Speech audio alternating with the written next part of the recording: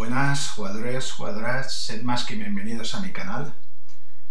Vamos a retomar la serie ZX Spectrum Olvidados con un juego llamado Eddie Kit Jam Challenge, un juego del año 1984 de la compañía Martech, que fue editado en España por, distribuido por Drawsoft, y es un juego que hace referencia a los espectáculos de televisión americanos en que pues todos lo habéis visto alguna vez, estos espectáculos tan de moda o que tanto les gustan a los americanos, que mezclan por un lado motor, por otro lado bebida, lógicamente, y crean un espectáculo pues de estos que son muy potentes visualmente, es decir, el tema de saltar eh, coches, saltar obstáculos, pero de distancia, larga distancia, con una moto, ¿no? En el juego empezaremos saltando con una bici y luego vamos consiguiendo mejores motos. Ya os digo que es una auténtica pasada en cuanto a curiosidad. No existen, probablemente no existan.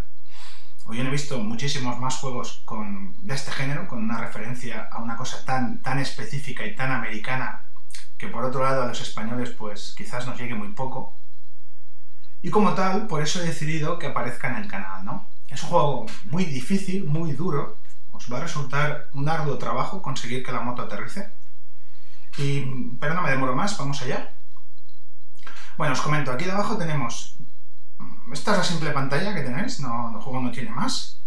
Tiene aquí la marcha que vamos para frenar, eh, revoluciones, velocidad, los barriles y el score.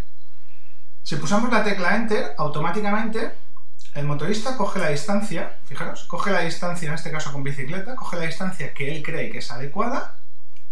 Cuando él cree que la distancia es suficiente, gira, invierte la marcha, pulsamos la tecla Z, con lo cual aceleramos y simplemente coge impulso y debería saltar todos los barriles. Con la tecla mayúsculas, frena hemos conseguido el primer objetivo. Perfecto. Que queremos hacerlo manualmente, pulsamos lo mismo, la tecla Z. Cuando nosotros creemos que estamos a la distancia suficiente, pulsamos cualquier tecla de la segunda fila y debería de cambiar la dirección, si yo no me equivoco. ¿Veis? Correcto. Y empezamos, pues, a acelerar. ¿Por qué hace esto el juego? Porque se supone que a más barriles debemos coger más distancia para coger velocidad. Entonces, tecla Z, aceleramos. Con la tecla espacio, veis que el motorista pues, ha cogido, se ha tumbado encima de la moto para coger mayor velocidad. Y luego viene lo difícil del juego, es decir, vais a ver, estoy apurando, saltamos, y ahora es cuando no sé cómo demonios puedo aterrizar recto. Y aquí estamos. Golpe y solo dispones encima solo dispones de una vida, con lo cual, game over, partida finalizada y volvemos a empezar. Este es el juego, no tiene nada más.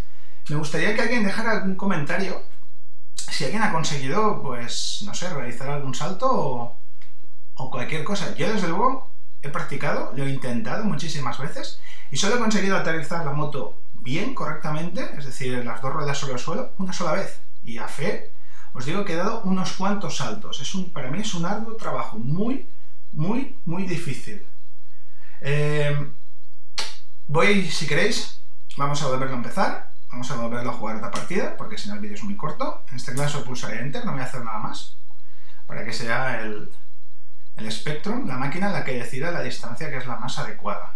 Tecla Z, procedemos a coger velocidad, 18 barriles con la bicicleta, aquí tenéis al, este simple personaje peladeando encima de la bici, saltamos, y aquí ya no toco nada más, simplemente prueba superada. Podéis frenar con la tecla Shift, más rápido y ya está. Nuevamente pulso Enter, yo no hago nada, coge la distancia adecuada, pulsamos la tecla Z, espacio para coger más velocidad, y luego debería ser la tecla espacio o la Shift, no viene nada más en las instrucciones, ¿veis? Fijaros, no consigo dominar la moto y golpetazo, nada. Eh, este es el juego. Mm, vamos a finalizar ya con una pequeña, una pequeña valoración del mismo. Cuanto menos, ya digo, resulta muy, muy curioso y hay que valorar también el trabajo que hicieron los programadores. Me diréis que es un juego con unos gráficos muy simple, carece de sonido, ciertamente, pero oye, hay que tenerlos muy bien plantados, muy bien puestos para hacer un juego con este género, con esta temática, que, pues insisto, que es prácticamente único en el ZX Spectrum, estoy seguro. Pero por otro lado, una vez habían conseguido esto, mm, me parece un poco reprochable el hecho de que, de que no hayan incluido un poco más controles y que sea pues que el trabajo de conseguir que nuestra moto eh, tome impacte con el suelo correctamente no sea tan dificultoso. Y quizás si me equivoque y el juego sea muy fácil y me lo dejéis en los comentarios, oye mira, yo he jugado este juego y tienes que pulsar estas teclas o hacer esto y lo otro, porque tengo cierta curiosidad interior por saber qué hay que hacer en el mismo. Le voy a dar una nota de 6, insisto, una nota de 6, por más que nada eh, por el tema de lo curioso que es y obviando eh, el tema de la dificultad, el arduo trabajo, insisto, que, consiste en poder aterrizar el juego. El de poder aterrizar la moto, perdón, no sé ni lo que digo. Y nada chicos, sin más, espero que os haya gustado el vídeo, que probéis este Educate Kite Jam Challenge, que me dejéis los comentarios y como siempre digo, nos vemos en el siguiente vídeo.